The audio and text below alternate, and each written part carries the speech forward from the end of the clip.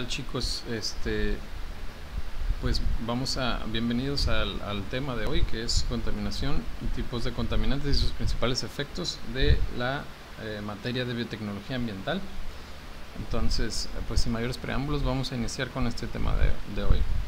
Eh, ¿De qué vamos a hablar? Pues primero una pequeña introducción, después una definición de, eh, a modo ilustrativo de lo que es definición y contaminación perdón, contaminación y contaminantes. Luego vamos a ver cómo algunas propuestas de clasificación de contaminantes. Luego características de interés, o sea, propiedades que pueden ser o que nosotros tenemos que, evaluar de un contaminante. Y eh, por último cerraremos con contaminación del aire. para la siguiente clase entraremos en el tema de contaminación de suelo y de agua.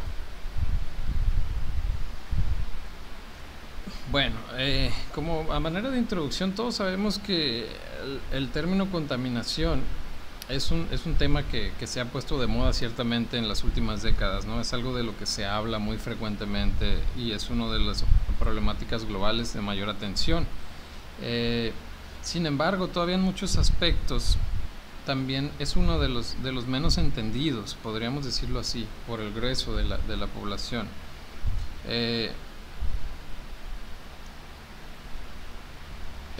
la palabra como tal de contaminación ha entrado como a ese concepto eh, consciente eh, del término un poco aburguesado de las prácticas verdes y de la sociedad verde en general.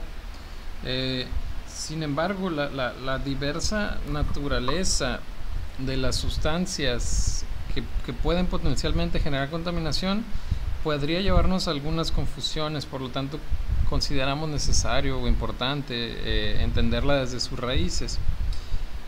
Es importante, por ejemplo, saber que no todos los contaminantes son sintéticos, ¿no? Eh, muchas, muchas sustancias pueden contribuir a la contaminación, incluso de, tal vez de maneras más importantes para nuestros fines, y no ser precisamente hechas por el hombre, ¿no? Incluso pueden venir de eh, procesos totalmente naturales en los cuales el, hombre no tiene mayor interferencia. Entonces, eh, incluso algunas, algunas sustancias biológicamente activas o producidas por entes biológicos tienen el potencial para aumentar o, o incrementar un proceso de contaminación. Entonces, pues de aquí es que es que resulta un poco complicado la clasificación, pero bueno, eh, vamos, vamos a, tratar de irnos paso a paso con esto y entender un poco más en su, en su complejidad el concepto de, contaminación. Entonces, contaminación dependiendo también la, la fuente en la que la consultas. Eh, por ejemplo, en la EPA dice introducción o descarga al ambiente de cualquier sustancia capaz de causar daño al ser humano o a cualquier organismo viviente. ¿Sí? Entonces, nosotros, bajo esa premisa, o, bueno, uno de los conceptos que a mí me parece más adecuado es tomado, eh, basado en, el concepto de contaminante que da Evans y Forlong, pero un poco diferente diría yo. Eh, yo lo defino como cualquier sustancia o perturbación que, por sus características, persistencia o cantidad, daña la salud humana, animal o vegetal, o compromete la capacidad del ambiente para sustentar la vida. Entonces, eh, como ven, obviamente esta es una, es una definición expresamente inclusiva. No solo eh, encajona a las, a las sustancias que son obviamente tóxicas, ¿no? pero también a otros materiales que podrían tener, o procesos, o fenómenos que podrían tener un efecto bajo ciertas circunstancias. Entonces, eh, como, como, lo habíamos dicho antes, no, no, es una labor tan fácil y tan sencilla el, realizar una clasificación de los, de los contaminantes. ¿Por qué? Porque su, su, bajo esta definición que acabamos de ver, muchas sustancias podrían entrar en el concepto de contaminante porque bajo ciertas condiciones pueden cumplirse que dañen la salud del ecosistema o la salud humana o comprometan la integridad del, del, ambiente. Entonces, la, se vuelve sistemáticamente difícil, como en términos absolutos, digámoslo así, producir una clasificación funcional. Entonces, pero eh, hay, que tener en cuenta que muchas veces la mejor clasificación que nosotros podemos elegir para, para, para definir contaminantes eh, va a ser la que se, ajuste mejor a los propósitos para los que se está haciendo dicha clasificación, ¿no? Tal vez tú quieres este, generar una clasificación de, un contaminante o de los contaminantes para darle difusión a una campaña de manejo integral de residuos en una ciudad, por ejemplo.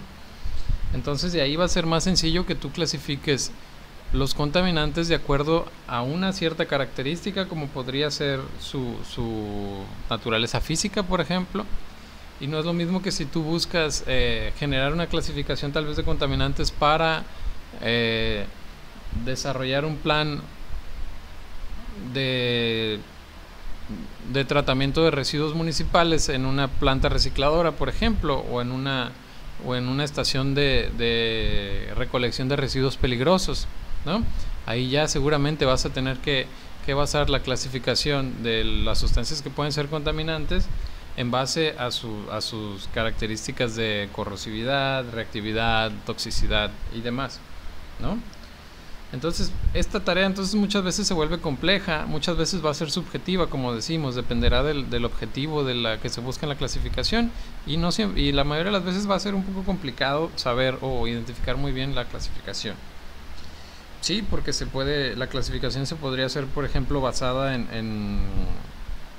las características químicas o físicas de la sustancia, de la fuente de donde provienen, de la ruta ambiental que siguen una vez que llegan al ambiente o los organismos que afectan o simplemente como su efecto, eh, el medio que afectan, ¿no? Podríamos clasificarlo desde contaminantes de aire, de suelo y de agua o hasta o, de muchas otras maneras, ¿no? Nosotros podríamos, una de las clasificaciones más comunes es de acuerdo a su naturaleza. A lo que me refiero con naturaleza es que si el, si va a ser el efecto que generan es derivado de, su, de sus características o de su naturaleza física o química, ¿no? Por ejemplo, eh, el ruido se vuelve un, contaminante o es un contaminante también, pero el, pero el, se podría clasificarse como energía. Al final de cuentas, pues las ondas eh, acústicas también son o, entran como energía y que generan un, una, una perturbación en el ambiente. El calor o la radiación ionizante también son contaminantes. En un, en un momento dado se pueden volver contaminantes cuando aumenta eh, su, su, cantidad o su concentración o su tasa de incidencia y eh, entrarían en el rubro de, contaminantes desde el punto de vista físico porque la alteración que hacen en el medio es, física y no química. Tal vez ya subsecuentemente eh, se puedan desarrollar o desencadenar reacciones químicas por esto, pero el, el, efecto directo es físico. Entonces, y ya dentro del, del, otro rubro, pues entrarían todos aquellos compuestos o sustancias químicas que pueden ser naturales, ¿no? Como los nutrientes, como el CO2, como el metano, o como la lixiviación natural de metales, o que o, o todos estos compuestos que se pueden encontrar de manera natural en el ambiente, o pues compuestos o sustancias que son artificiales, como son la mayoría de los compuestos orgánicos persistentes, los clorofluorocarbonos o los plásticos, que, para, que no estaban ahí de manera natural en el ambiente, que tuvieron que ser eh, producidos por el hombre. Entonces esta es solo una, una propuesta de clasificación que en un momento dado podría servirnos a grosso modo. Ok. Entonces, cuando nosotros queremos hacer un análisis o un diagnóstico de un sitio contaminado o de un área contaminada, requerimos evaluar simultáneamente las características de aquellos agentes que están contaminando el medio y además de las características del medio que lo contiene.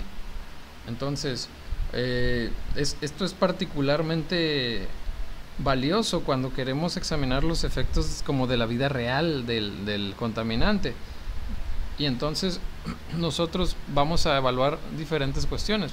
Entonces, eh, por ejemplo, cuando se trata de, contaminantes que vienen o que son tienen una fuente antropogénica, ¿sí? que vienen de la industria o que vienen de casas, residuos municipales, y que tienen una cierta característica por ser peligrosos, eh, se suele usar esta clasificación, que probablemente ustedes ya la conozcan si llevaron ahí su materia de, ¿cómo se llama? Mm, control de productos biotecnológicos o algo así, seguramente debieron haber analizado o visto en qué se basan los análisis CRETIV, ¿no? que es para sustancias peligrosas eh, y que se clasifican de acuerdo a sus características y son, por ejemplo, corrosivas, que básicamente es la capacidad que tiene un compuesto para disolver otro, ¿no? que suelen ser o sustancias muy básicas con pHs muy elevados, ¿no? Pero también podrían ser sustancias con, con pHs muy bajos. La reactividad, que básicamente dice, o que dice qué tan estables o inestables van a ser los, los residuos en, una, en un ambiente determinado. Explosividad, eh, pues todo el, la misma palabra nos dice, ¿no? La, la, capacidad de una sustancia para generar una reacción eh, muy exotérmica y muy rápida bajo ciertas condiciones de temperatura o presión. Pues toxicidad, que ahorita la vamos a ver un poco más adelante. Inflamabilidad, ¿no? Que con qué facilidad surge la ignición y puede desarrollar una combustión. O si tienen características biológicas infecciosas como los residuos hospitalarios. Entonces, cuando nos, pero bueno, cuando nosotros vamos a hacer un análisis ambiental, sí, no nada más de un residuo que viene de, manera antropogénica, sino que vamos a analizar un sitio completo, eh, podemos o debemos identificar ciertas propiedades y características de los contaminantes. Estas son sus características de toxicidad, persistencia, movilidad, facilidad de control, bioacumulación y la estructura, la estructura química que poseen. Entonces, eh, la toxicidad básicamente lo que nos indica es el, es el potencial que tiene una, una sustancia para dañar la, la, vida en términos generales.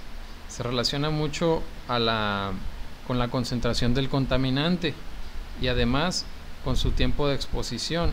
Entonces, Normalmente diremos que, una sustancia tiene mayor toxicidad cuando, tiene, cuando es más fácil que, afecte a alguien o a algo y ya dependerá también de, si tiene toxicidad aguda o, toxicidad crónica, si puede afectar con, con, un tiempo de exposición prolongado, aunque la concentración no sea muy elevada, o si puede afectar mucho con una concentración muy alta, aunque sea por un tiempo muy pequeño. ¿no? Entonces ahora vamos a ver lo que es la persistencia de, un contaminante. ¿A qué se refiere el término persistencia? Y pues también es, bastante autoexplicativo el, el, término persistencia. Básicamente dice o se refiere a la duración de su efecto. Eh, es decir, cuánto, cuánto va a permanecer en el ambiente generando el impacto que, que pueda generar esa sustancia. ¿Qué es lo que ocurre? Pues que es importante desde el punto de vista ambiental porque normalmente las sustancias que son altamente persistentes son, son resistentes a la, degradación. ¿sí? Van a permanecer mucho tiempo sin alteraciones porque son difícilmente biodegradables. En los ambientes en los que se encuentra difícilmente va a haber un organismo o se van a cumplir las condiciones necesarias para que se pueda dar la, la degradación y suelen estar muy ligadas entonces a los procesos de bioacumulación, que los vamos a definir ahorita enseguida. Por ello son de especial interés porque eh, pueden ser incluso más peligrosas que las sustancias que suelen ser más tóxicas, pero son volátiles, ¿no?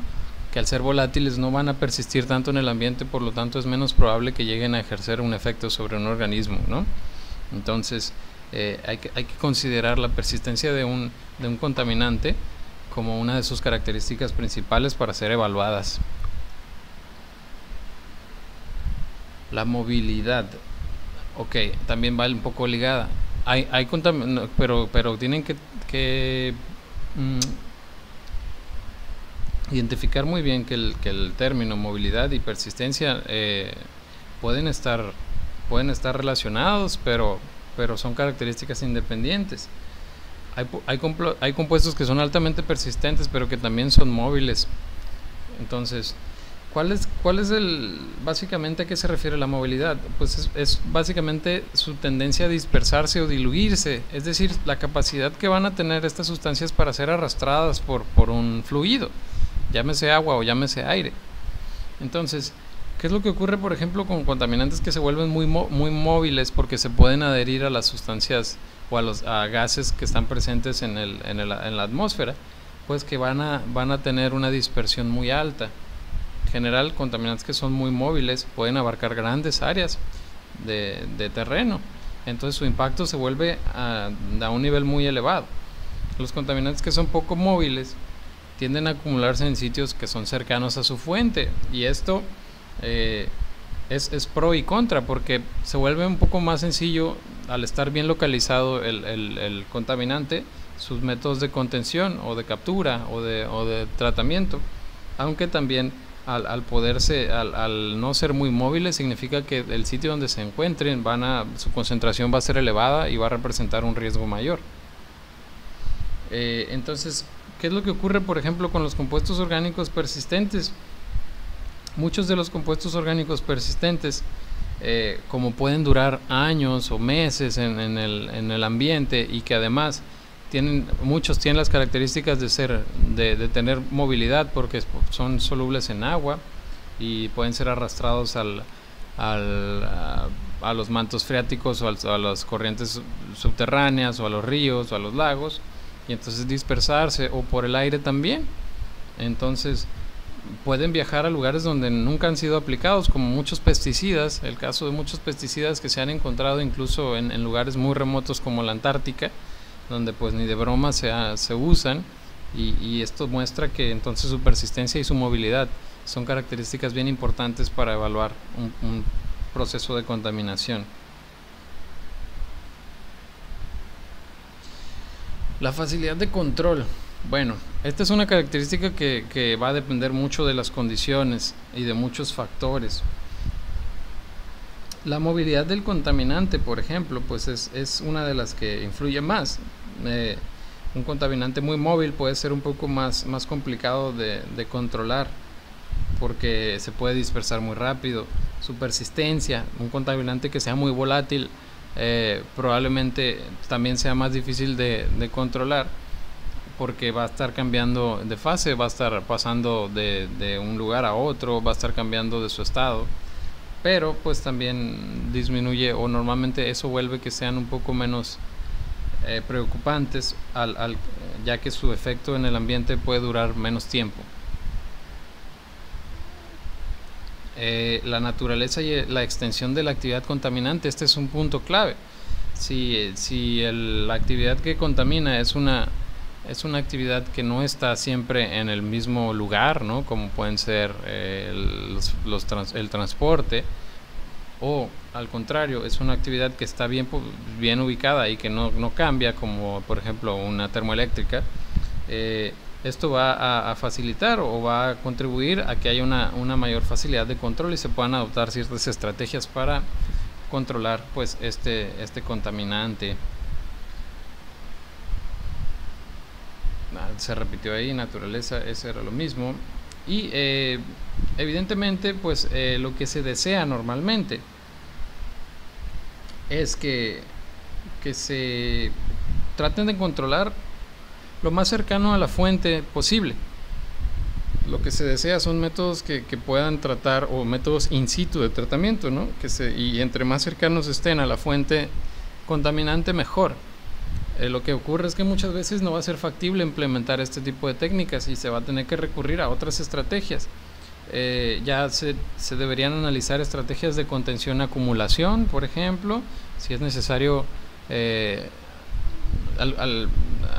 alguna estrategia de filtrado, de captura, donde se vaya acumulando y después se pueda llevar a un, a un tratamiento ex situ o si las condiciones son lo suficientemente y, las características del contaminante lo vuelven mm, no tan preocupante, pues la dilución y dispersión en, un cuerpo o, el uso de chimeneas, por ejemplo, que, que aseguren que, los, que las sustancias o, los, o la, los gases que se están generando en este proceso de contaminación no vayan a repercutir en la salud humana o del ecosistema y por eso es que las chimeneas industriales pues tienen una cierta altura y no es la altura de una chimenea industrial no es eh, hecha al azar. Se, se realizan estudios en cuanto, desde el, para las para ver las características de los de los gases y determinar también bajo las condiciones que haya normalmente en el sitio de viento y de temperaturas y demás ver cuál debe ser la la altura óptima para que al, liberarse estos contaminantes se dispersen y no, no, vayan a generar una acumulación o vayan a caer a alturas donde puedan ser inhaladas por la, por la gente, ¿no? Ahora, bioacumulación, este es otro punto importante. Normalmente decíamos que estaba ligada a la persistencia.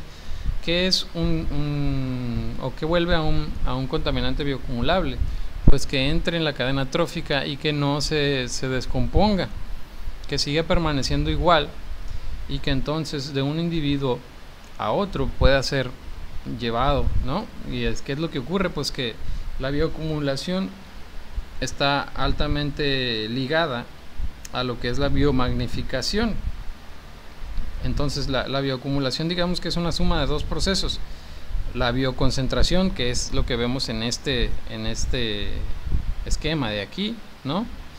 Obviamente los, los, primeros eslabones de la cadena trófica van a ingerir una cierta o van a asimilar una cierta cantidad de estos compuestos y los siguientes escalones al alimentarse del, del escalón anterior pues lo van concentrando y cada vez se vuelve más concentrado hasta que llegamos a, a un punto de que los, los eslabones, eslabones más altos eh, lo han biomagnificado eso es lo que llamamos biomagnificación.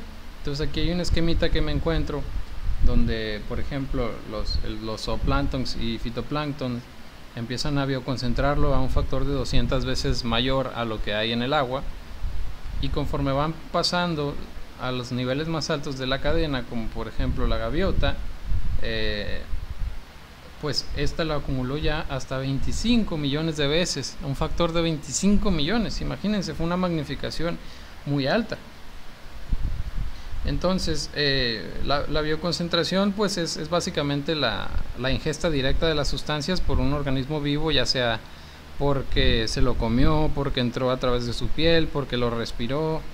Y pues la, la biomagnificación es el resultado de, de, un, de un aumento de esta concentración, pero por vía de que, de que va en la vía ya eh, de forma dietaria. ¿No? O sea, que alguien se lo comió a otro individuo que tenía este, estos compuestos, ¿no? Porque eh, normalmente los organismos filtradores son los primeros y de ahí em, empezamos a, a, tener la biomagnificación. Entonces esto, esto es, es algo que, que, ha estado de moda, se ha hablado mucho en la materia ambiental porque eh, puede repercutir enormemente ¿no? en la salud de los, de los ecosistemas y en la salud humana también.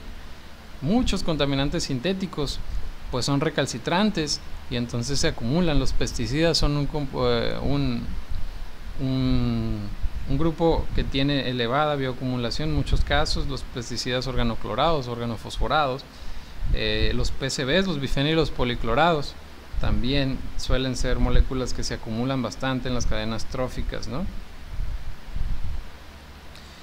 Y por último, la química del contaminante, pero entonces ¿a qué nos referimos con química? No nada más de su estructura, porque muchas veces la, la naturaleza inicial del contaminante no, no, es una, no nos da una imagen completa o entera de su, de su capacidad de afectación, sino que eh, tal vez la, la, la formación de subproductos a través de sus, de sus rutas de degradación o de, o de reacción, eh, le pueden conferir características diferentes, incluso pueden ser más peligrosos que la sustancia original, ¿no? Es cuando nos llamamos que una sustancia o un metabolito secundario puede ser más, más tóxico que el compuesto parental. Y esto es muy importante desde el punto de vista de la, de la biotecnología ambiental, porque ya habíamos mencionado que una de las bondades de la biotecnología ambiental es que se, se hay una biotransformación, hay una transformación del contaminante y lo que nosotros queremos es que esa transformación nos baje los niveles de toxicidad, nos baje los efectos del contaminante y no que sea al revés, ¿no? Entonces es importante determinar los posibles efectos secundarios de los metabolitos o de los productos de degradación. Y esto no siempre es un asunto fácil o sencillo, ¿no? Eh, entonces, ¿por qué? Porque la presencia de otros compuestos, por ejemplo, en el sitio puede influir sobre los productos de degradación. A lo mejor el producto de degradación como tal no es muy tóxico, no es muy peligroso, pero si nosotros eh, analizamos el sitio y nos damos cuenta que hay algún eh, otro ah, compuesto que puede ah, generar sinergia que puede generar una afectación, pues lo tenemos que tener en cuenta, ¿no? Entonces, ah, también en el caso contrario, Puede que algún producto de degradación sea mayor o más tóxico o más persistente o tenga una característica más dañina que los compuestos parentales, pero alguno de los compuestos que hay en el sitio puede influir sobre ese producto de degradación de manera antagónica y entonces lo, neutraliza, por así decirlo. Son los dos, las dos reacciones que puede haber de acuerdo a la química del contaminante, tanto el sinergismo, es decir, que, que dos sustancias juntas generen un impacto mayor que las sustancias individuales o que las dos sustancias de manera individual puedan tener un efecto mayor que el, que el efecto que tienen cuando están juntas. A eso sería el, antagonismo. ¿no? Ahora, recapitulando un poco, como ya decíamos, hay unas sustancias que son de principal interés y entonces bajo las características que ya vimos de movilidad, persistencia, toxicidad, bioacumulación, hay unos compuestos que eh, son, son, son referidos en un, en un convenio que se llama el Convenio de Estocolmo, que es para contaminantes orgánicos persistentes. ¿Y qué es lo que, o qué es lo que define a una sustancia como un COP, un compuesto o contaminante orgánico persistente? Que la traducción más correcta sería compuesto orgánico persistente. Pues que son contaminantes que, que suelen ser muy tóxicos o que tienen un potencial daño para, los organismos vivos, tanto para el hombre como para los, organismos del ambiente, eh, que tienen una elevada persistencia, como su nombre lo dice, entonces son persistentes, son tóxicos, son bioacumulables porque presentan biomagnificación, eh, normalmente también suelen ser semivolátiles, ya lo decíamos que son persistentes. Persistente pues eh, se refiere a que tiene una recalcitrancia elevada, una resistencia a la degradación elevada, eso significa el término recalcitrancia. Y eh, dado que esto, pues algunos, por ejemplo, los PCBs pueden permanecer incluso décadas si las condiciones del, ambiente en el que están son las adecuadas. Como decía, al ser semivolátiles, eh, muchas veces van a poder viajar a grandes distancias antes de depositarse o de caer al suelo nuevamente, por ejemplo y entonces pueden estar presentes en, prácticamente cualquier rincón del planeta. Y entonces todo esto vuelve a los contaminantes orgánicos persistentes de principal interés ambiental y de salud pública, porque son contaminantes que tienen todas las características malas, por así decirlo, son, son lo peorcito de lo peor y la pues todos los, compuestos orgánicos persistentes que están en el listado de Estocolmo pues son sustancias sintéticas, son compuestos que se han, que se han hecho a partir del, del, de la actividad humana, ¿no? se sintetizan. Ahora vamos a ver un poco sobre la contaminación del aire, cuáles son los principales contaminantes del aire. Y bueno, como para entrar un poco en contexto, tenemos que, que la, la problemática del aire es una de las, de las problemáticas de contaminación más especiales porque normalmente van a van a requerir de esfuerzos multinacionales. Los contaminantes del aire pueden viajar a grandes distancias, ¿no? Entonces, muchas veces pues se requiere cooperación internacional. Caso pues y, afortunadamente hay ejemplos de éxito de cooperación internacional para resolver problemáticas eh, de, contaminación del aire y de la atmósfera como el, como el convenio de Viena ¿no? que derivó también ahí en el, en el protocolo de Montreal después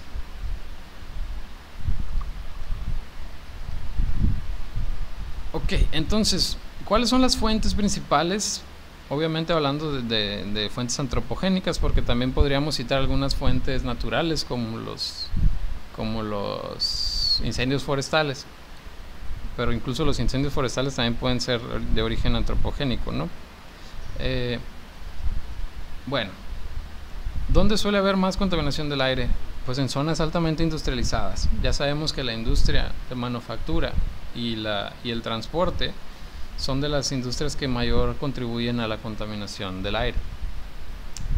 Pero a su vez también la agricultura, la producción de energía, eh, son, son fuentes importantes de contaminación. Directa e indirectamente, ¿no? Sabemos que la, que la agricultura extensiva contribuye pues también a, al, al, al desertificar suelos o al deforestar áreas, pues influye en el ciclo del carbono porque disminuye la capacidad de captación de CO2, aumentando sus niveles y trayendo con esto las consecuencias que ya todos conocemos del efecto invernadero y del cambio climático. Pero bueno, vamos a analizarlas de a poco. ¿Cuáles son los principales contaminantes del aire que podemos tener? Entonces los vamos a enlistar primero como los óxidos de azufre, los CFCs, que, es la aberración para clorofluorocarbonos, pero en general a los CFCs los ponemos ahí, pero en general son las sustancias degradadoras de ozono o los gases degradadores de ozono, los óxidos de nitrógeno y la, uh, el material particulado. Vamos a irlos analizando de uno por uno.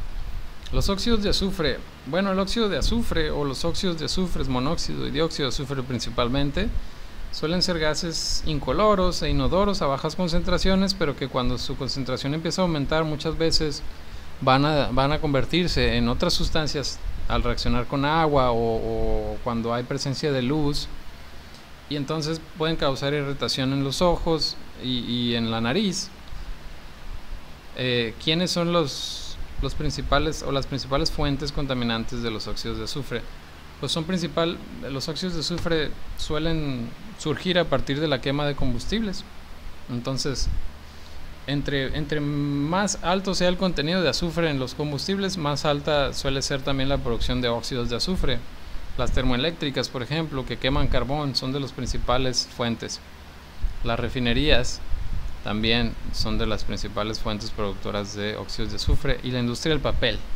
También la industria del papel juega un papel importante en la producción de óxidos de azufre. ¿Cuáles son los efectos en la salud humana? Bueno, a altas concentraciones, o sea, su toxicidad aguda, suelen provocar problemas derivados de la dificultad respiratoria, como asma, bioconstricción, perdón, broncoconstricción que básicamente es la constricción o el cierre de las, de las vías pulmonares, ¿no?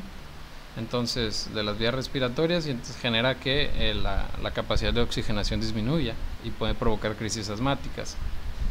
Y la toxicidad crónica, solo por los, por los óxidos de azufre, pues genera síndromes respiratorios severos, eh, disminuye la capacidad pulmonar y puede generar edemas también. Y además pueden contribuir al deterioro cardiovascular o a la, al empeoramiento si se ya se tienen padecimientos cardiovasculares previos se pueden volver pues más se pueden complicar más. Eh, uno de los de los por ejemplo yo me acuerdo o me acuerdo haber leído y estuve investigando un poquito más sobre lo que se le llamó el London Great Smog el gran smog de Londres de los años 50 en el 52 para ser específico que según estimaciones más recientes, pues aproximadamente 12.000 personas murieron en lo que fueron los, los días en que esta contingencia duró y los meses subsiguientes. Pero dicen que hasta probablemente hubo 100.000 100, o arriba de 100.000 personas que requirieron hospitalizaciones o cuidados. Y el, em, esto fue, entre otras cosas, o, o la, el gran smog de, de, que es la crisis de contaminación de aire más, más grave que ha vivido Gran Bretaña, se debió pues entre se conjuntaron ahí una serie de factores ambientales con la elevada quema de, de, carbón y madera en las casas y además de las plantas generadoras. Entonces en esos años pues en Londres prácticamente toda la energía se, se generaba a partir de la quema de carbón y la calefacción de las casas también era a partir de quema de carbón y de, y de madera y se resulta que pues en esa temporada hubo, hubo una elevada radiación solar, hubo mucha presencia de, neblina y la neblina pues básicamente o es agua, elevada agua en, el, en el, aire y las altas las altos niveles de, dióxido de azufre y de, y de óxidos de nitrógeno pues básicamente provocaron que, que se formara lluvia ácida ¿Qué es lo que les ocurrió a estas personas como por 10 días en lo que duró estas condiciones ambientales? Que la gente comenzó a, estaba respirando ácido sulfúrico, básicamente, y entonces pues hubo muchas muertes ahí. Y este es eh, a lo que íbamos, con la lluvia ácida. La lluvia ácida es uno de los impactos ambientales más importantes del, del de la de la contaminación por óxidos de azufre, ¿no? Eh, tanto el, ácido sulfúrico como el ácido nítrico se forman eh, en, la, en la estratosfera porque el agua reacciona con, los óxidos de azufre o como los óxidos de nitrógeno también y que eh, usando la luz solar como, y el oxígeno pues atmosférico como catalizadores las gotas de agua se empiezan a acidificar entonces la lluvia ácida es un fenómeno bien común en, áreas grandes de urbanas, ¿no? La Ciudad de México, este, áreas metropolitanas, en China es súper común. Estaba leyendo que, que pues, por ejemplo, el, pH normal en, en, en el pH normal es, es, ligeramente ácido. Ah, estoy hablando de los cuerpos de agua como los lagos.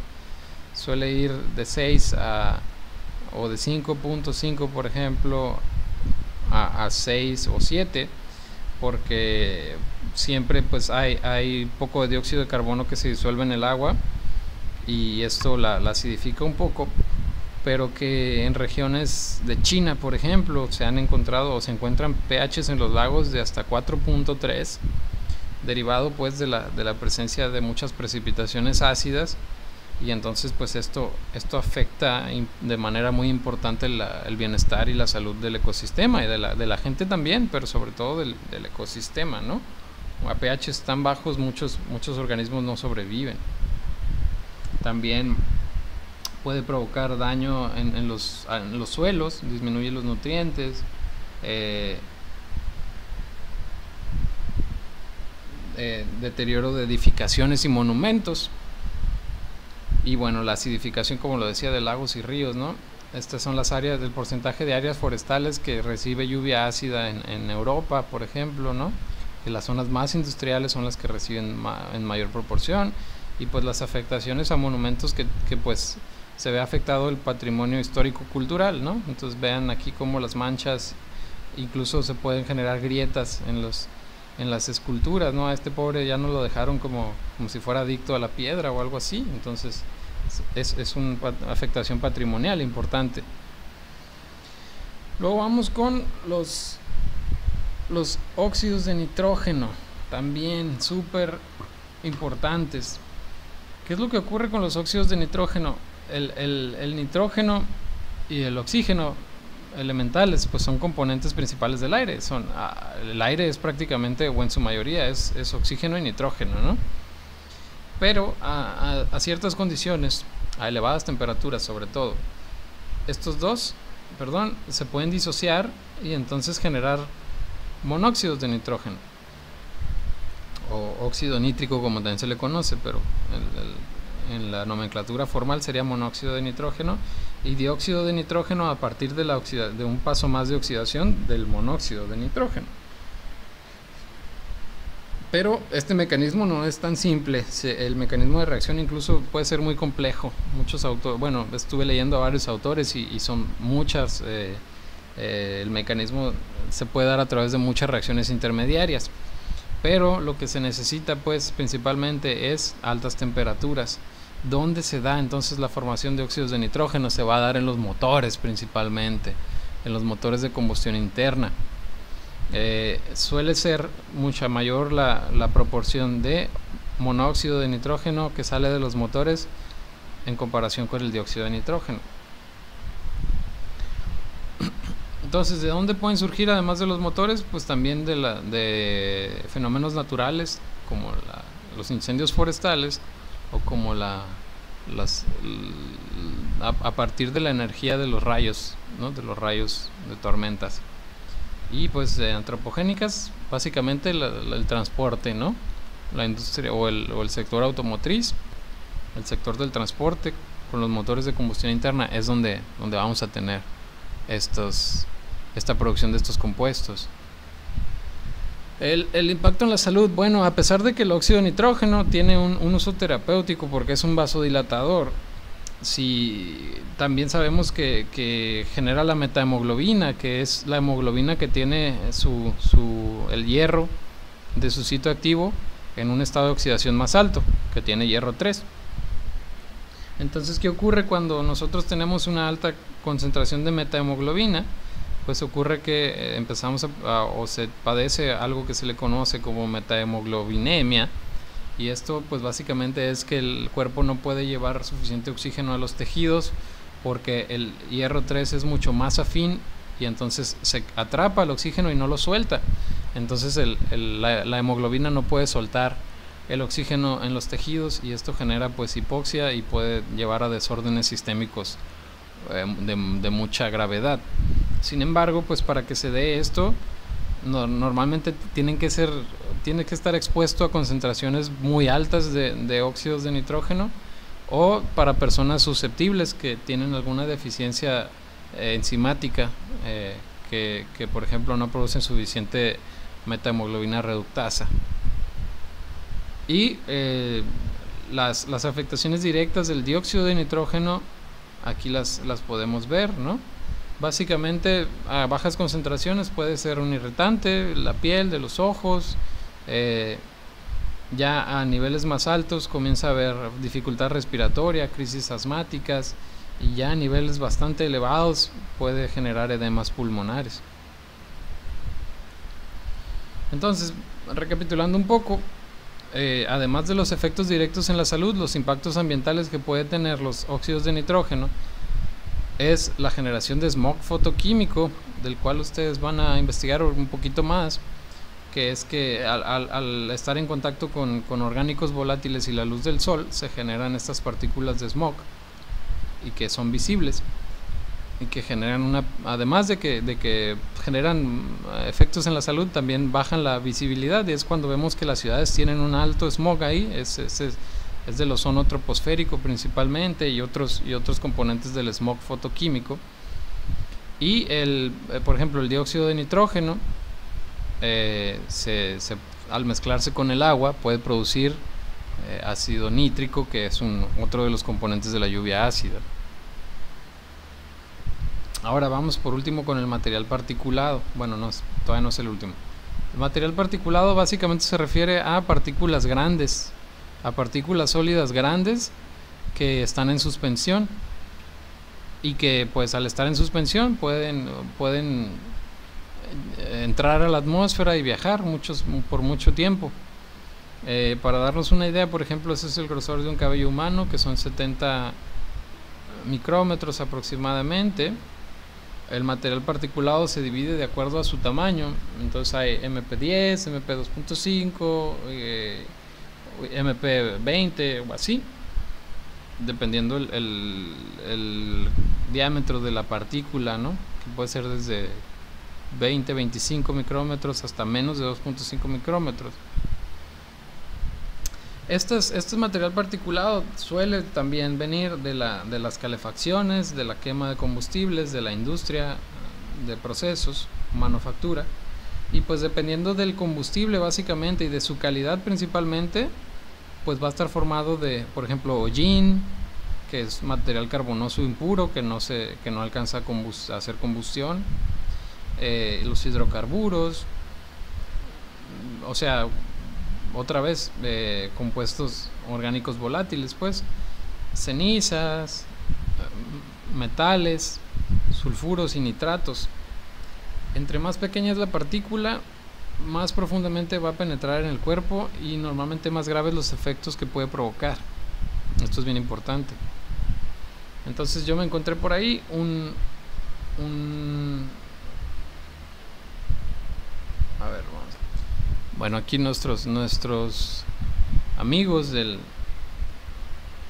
del Consejo Ecológico danés tiene una infografía que nos, eh, nos indica más o menos la, los efectos que puede tener el material particulado de acuerdo a su tamaño, ¿no? Por ejemplo, las partículas finas que pueden ser que pueden entrar por inhalación, como puede ser el polvo de la calle o la abrasión por, por materiales de, de adobe, por ejemplo, o de, o de las empresas que generan ladrillos, etcétera, pues lo que nos va a generar es dificultad respiratoria y una, un descenso en la, en la función pulmonar, ¿no? La capacidad de oxigenación en, en, general disminuye porque básicamente ¿qué es lo que hace? Como taponea.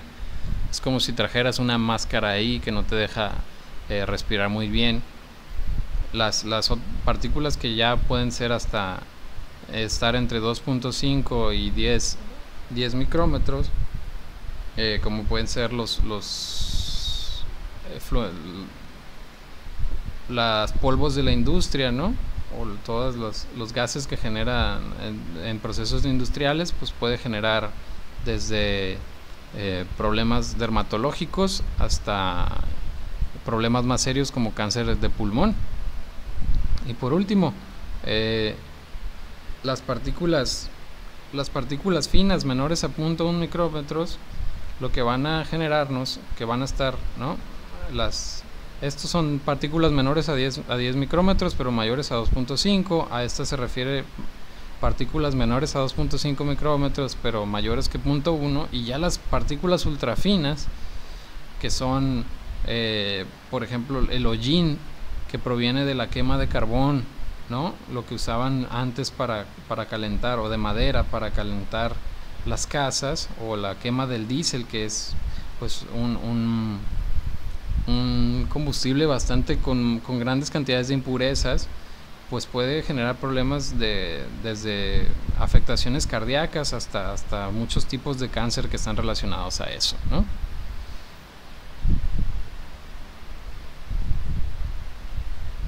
Ok, y por último, los CFCs y los gases degradadores de eh, ozono. CFC son la abreviación para clorofluorocarbonos y estos clorofluorocarbonos pues son, son compuestos eh, que tienen que, presentan carbono, flúor y cloro, ¿no? como su nombre lo dice y que pues pueden permanecer muchos autores eh, señalan que pueden permanecer hasta décadas, ¿no? Aunque eso ya se está un poco controvertido. Hay otras investigaciones más recientes que dicen que no, no, no tanto, que no duran tanto tiempo, pero eh, sí, sí son importantes porque afectan directamente la capa de ozono cuando llegan a, a, reaccionar con el ozono estratosférico. La estimación es que la, la, capa de ozono cuando empieza toda esta crisis en los 70s que se descubre el efecto de los clorofluorocarbonos, porque estos materiales se comienzan a usar como desde la década de los 50 probablemente. Y por sus características, pues se, se, utilizaban básicamente en todos los aerosoles. Todos los aerosoles que se vendían para, para uso doméstico tenían clorofluorocarbonos.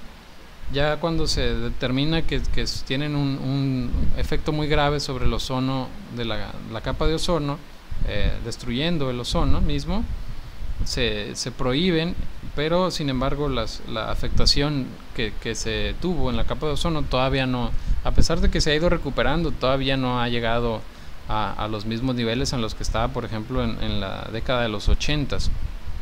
Se estima que por ahí hasta entre 2035 y 2050 la capa de ozono va a regresar a ese estado. Entonces en el video que sigue van a poder ustedes ver un poco más a detalle cuál es la química detrás de esto, ¿no? Que no es muy, muy complicada tampoco, pero hablar un poquito más de este tema, que es uno de los, de los temas ambientales que fue de mayor importancia en las últimas décadas. Muchos de ustedes, pues yo tampoco estaba, estaba vivo todavía, pero eh, fue uno de los... Y todavía se usa como ejemplo de éxito de la voluntad política mundial, ¿no? Que dijeron, nos vamos a poner de acuerdo, los vamos a prohibir, y bueno, hoy en día sigue habiendo los refrigerantes de los aires acondicionados y de los refris, ¿no? Siguen usando compuestos fluorocarbonados, pero son los que se les llaman ya, o son los HCFC, o los, o los refrigerantes de segunda generación, que al tener una molécula de hidrógeno por ahí en su estructura, al tener hidrógenos, se vuelven más inestables en la atmósfera, entonces duran menos tiempo allá y, se supone que son más ecológicos, ¿no? Los HCFCs, que también están en, desuso, pero eh, países en vías de desarrollo todavía lo siguen utilizando. Eh, según el, protocolo de Montreal, me parece que es todavía nos quedan unos años en México de seguir usando estos y, bueno, pero a, e, e, estos, estas voluntades políticas repercuten en, en la salud de la capa de ozono y entonces afortunadamente es un problema que cada vez está, está volviéndose cosa del pasado y que se pudo solventar a tiempo, ¿no? Y bueno, por, por hoy vamos a terminar con la presentación en este momento, solo faltará eh, responder algunas preguntas y eh, ver un, un video siguiente. La siguiente clase estaremos hablando de contaminación del, del suelo y del agua.